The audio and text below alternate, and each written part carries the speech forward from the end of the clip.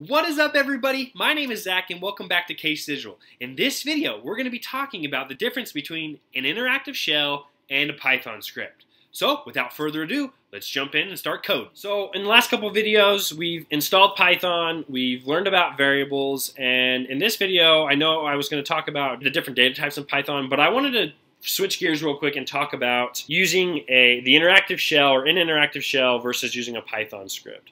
The reason being is um, going forward, I'm probably going to do a lot more of stuff using an actual Python script rather than the interactive shell. That's just how I've learned to program or do some Python programming, um, and that's just what makes me most comfortable. And so, and primarily with the interactive shell, such as if we go and, and, and open up the IDLE interactive shell, so go to applications and go open up this.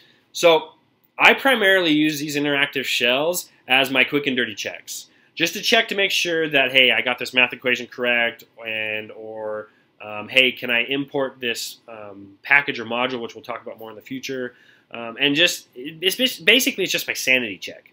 You know something if like oh like I can't for whatever reason if I can't think of something off the top of my head say I have this variable and I assign it equal to 5 and well what's you know that variable times 758. Like, I don't want to do it off the top of my head. I don't have a calculator nearby. I can just pull this up real quick, and boom, it tells me it's 3,790. So that's what I use these interactive shells for. People can, can run Python scripts through these shells. Um, I don't necessarily do that. You can. But I like to use uh, what's called an IDE um, or an integrated developer environment. Um, the primary one that I use is Visual Studio Code. And I'll do a video on setting up Visual Studio Code and helping for Python programming and whatnot. But essentially, what happens is in Visual is when, when you want to do a script, a script will basically just you can you write everything out and then when you do when you want to execute it you have to do this python command plus your file name and it'll execute and it'll just basically go from top down it'll execute everything in that. If you have stuff printing out, it'll print everything out to show you what they are. If you don't, it'll just run everything through, and that's what I want to show you today. So I have this folder set up. I'm going to add a file to it, and I'm going to call it our Hello World script. World. And now to make a Python script, you need to do your file name and then do the extension is .py. And that tells um, our computer that we've since that we've installed Python and that we want to run a Python application. So in, in this, if we just do the clip, is print hello, I can spell, world. And by doing this now, I can save this and I can open a terminal. So you can go to the top where it says terminal up here, or you can hit control tilde and it'll open up a terminal for you. And when it opens that up, I mean, it's in my folder. Um, if I do ls, it'll show, so that'll list everything in the folder. That'll tell me, hey, look, there's helloworld.py. Now to run a Python script, what you have to do is you need to do the keyword Python, do a space, and then do your, the name of your file, hello world. I'm going to do tab complete, so just hit tab, and it says hello py. And now when I hit enter, it should say hello world. Oh, there it is. Perfect. You've written your first Python script. Congratulations. Um, so we can do more things. Like you can go in, you can do like I did before. I can say num is equal to 5.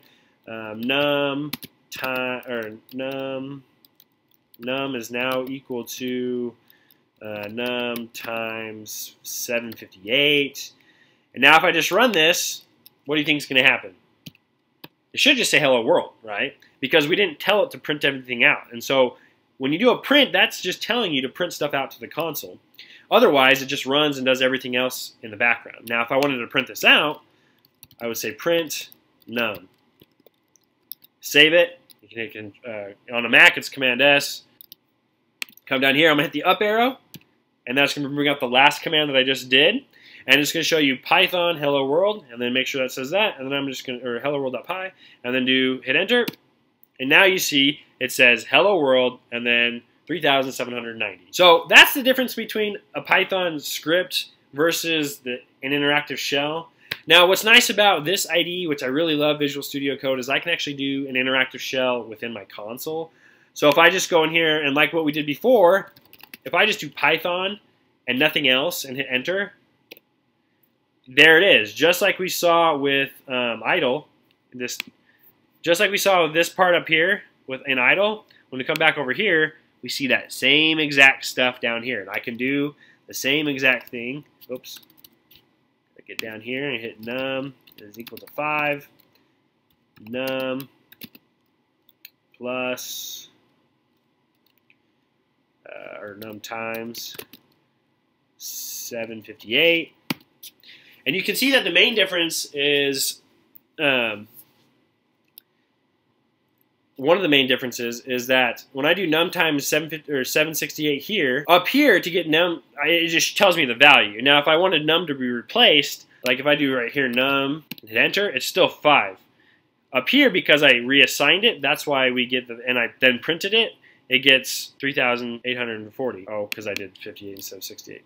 Um, but if I essentially wanted to print that, if I just wanted to print this, num times 768. Now to exit the terminal, or exit this command, or the interactive shell, you hit Control D. That gets out. Now I can do Python hello world.py, hit enter, and now 3,840. So that's basically it. They do the same thing. Um, and But I like to code in this because we'll do a lot more stuff with Python scripts.